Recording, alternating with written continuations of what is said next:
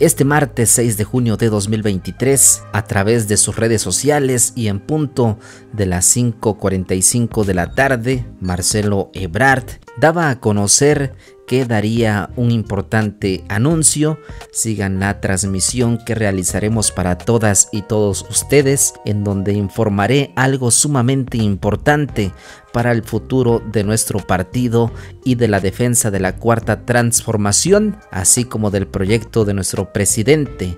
No se la pierdan en mis redes, me conectaré con ustedes poco antes del anuncio. Dicho anuncio, queridos amigos, dejó atónitos a propios y extraños. Marcelo Ebrard, atendiendo los acuerdos y la petición que el presidente López Obrador había realizado en meses anteriores a las corcholatas de Morena, renunciará a la Cancillería, a la Secretaría de Relaciones Exteriores el próximo lunes 12 de junio. Esto como un acto de congruencia y respeto a todas y todos los ciudadanos para poder encabezar dicha defensa, la defensa de la cuarta transformación en 2024. Sonrían, todo va a estar bien, fue la frase con la que Marcelo Ebrard concluyó su mensaje este 6 de junio de 2023. Marcelo Ebrard ha anunciado que su salida de la Secretaría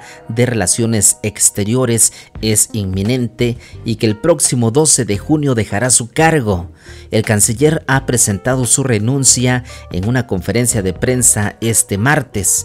La dimisión ha llegado en fechas críticas para la contienda interna de Morena y apenas un día después de que el presidente Andrés Manuel López Obrador convocara a una cena con una veintena de gobernadores y los cuatro aspirantes principales a la candidatura presidencial en 2024. Está previsto que el partido gobernante empiece a definir el método para seleccionar al candidato y las reglas de competencia este fin de semana, para ser precisos, este domingo 11 de junio.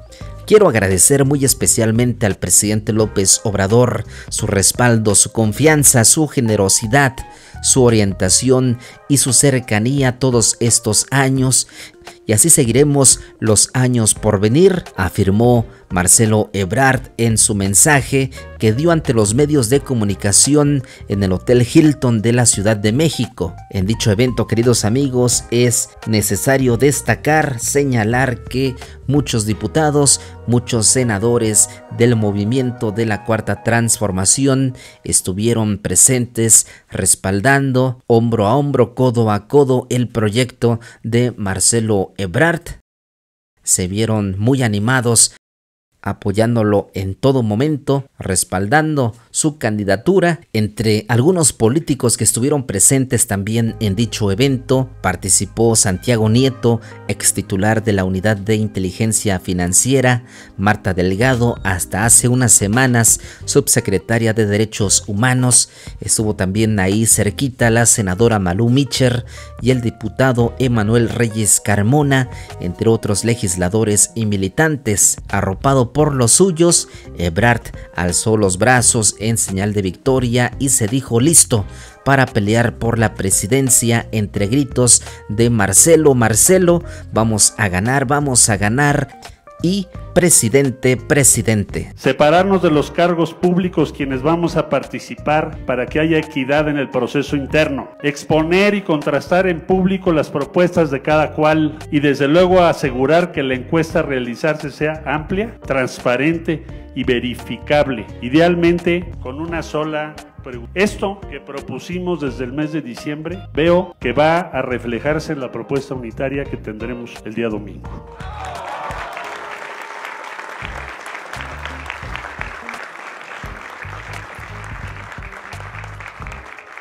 Amigas y amigos. He resuelto también, y así se los transmito, solicitar y presentar mi renuncia a la Secretaría de Relaciones Exteriores a partir del lunes 12 de junio a primera hora, la próxima semana.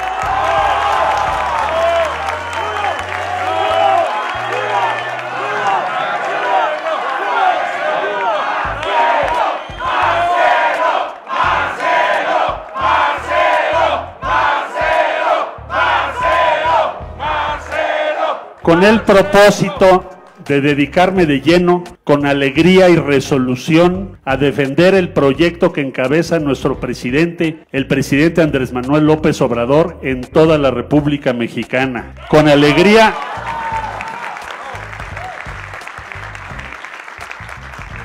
las políticas y avances de la cuarta transformación y también las propuestas sobre su futuro y cómo mantener la cuarta transformación, no solo en la conducción de México, sino en el ánimo y la conciencia de las y los mexicanos. Gracias a ese proceso de transformación que he vivido también el privilegio de acompañar al presidente López Obrador, hoy podemos plantearnos que México alcance su grandeza, que se radique la pobreza extrema, que se instale para siempre y permanezca la división entre los intereses, la separación entre los intereses y el espacio público y las decisiones públicas. Y que estemos orgullosas y orgullosos de nuestro movimiento y que el día de mañana digamos aquella fue nuestra hora mejor, cuando México alcanzó su grandeza. El día de hoy les digo, me entusiasma participar en este gran movimiento Morena. Me entusiasma y me enorgullezco ser parte de la cuarta transformación y también me entusiasma actuar con congruencia respecto a lo que hemos propuesto. Por eso me separo del cargo y voy a encontrarme con las ciudadanas y ciudadanos.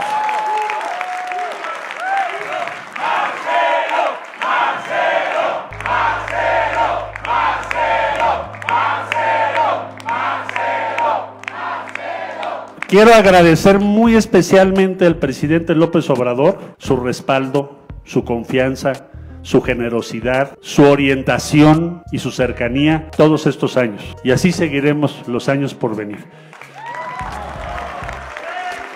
Diría, para concluir, sonrían compañeras, compañeros, todo va a estar bien.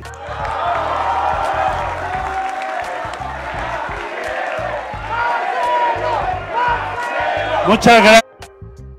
Veamos rápidamente, queridos amigos, qué dicen las encuestas pulse.mx con información actualizada al 6 de junio de 2023. Podemos observar ciertos movimientos. Claudia Sheinbaum a la cabeza en el primer lugar, seguida de Marcelo Ebrard.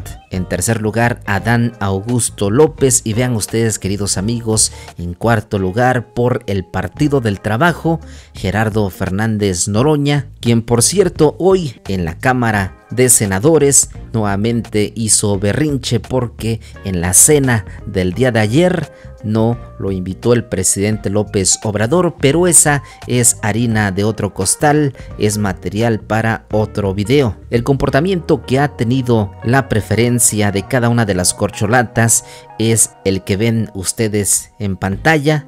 Este es el comportamiento de Claudia Sheinbaum, este es el comportamiento de Marcelo Ebrard, el de Adán Augusto López y vean ustedes el comportamiento que ha tenido Gerardo Fernández Noroña. Pues así la situación queridos amigos, ¿qué harán en estos días las demás corcholatas? Claudia Sheinbaum será capaz de renunciar a la jefatura de gobierno. Adán Augusto hará lo propio también. Ricardo Monreal también pondrá su renuncia. Gerardo Fernández Noroña también renunciará a la Cámara de Diputados. Esto se pone cada vez más interesante, queridos amigos. Marcelo Ebrard fue el primer jugador que movió sus piezas. Estaremos pendientes para ver qué pasa en estos días con los demás participantes, con las demás corcholatas presidenciables para representar al partido del presidente López Obrador, al partido de la Cuarta Transformación en junio de 2024. Estamos, estamos a un año de las próximas elecciones presidenciables. Hasta ahí dejamos la información, queridos amigos. Si es la primera vez que observas nuestro contenido, te invito a que te suscribas. Si te gustó el video, dale like, compártelo y recuerda que tú y yo tenemos una cita en el siguiente video. Hasta la próxima.